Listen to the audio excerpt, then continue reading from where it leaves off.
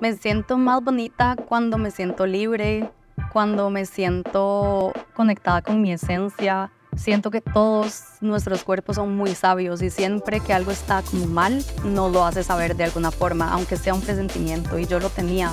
Yo me descubrí una pelotita y todo empezó así realmente. Mi familia y mis amigos estuvieron ahí desde el momento uno. Todo eran como gestos que la verdad hacían una gran diferencia en ese momento donde todo se puede poner como tan turbio a veces.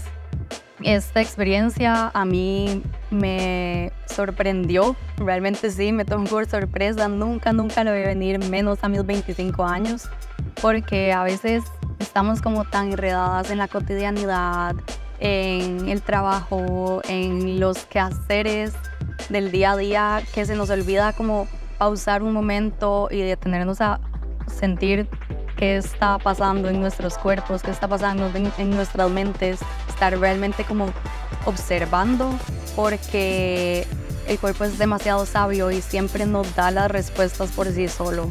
Por eso hay que vivirlo al máximo y como de la manera más presente y agradecida posible.